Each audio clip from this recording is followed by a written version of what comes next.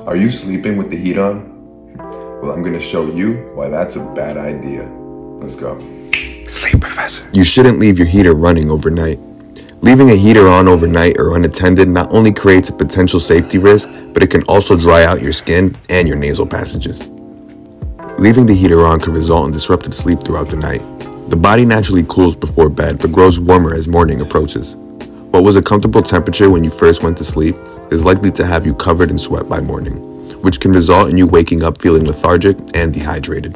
The ideal temperature for sleep is 65 degrees Fahrenheit or 18 degrees Celsius, so be sure to turn down the temperature before bed. And if that isn't an option, try cracking a window. The cold temperature should make it easier to fall asleep without waking up from discomfort.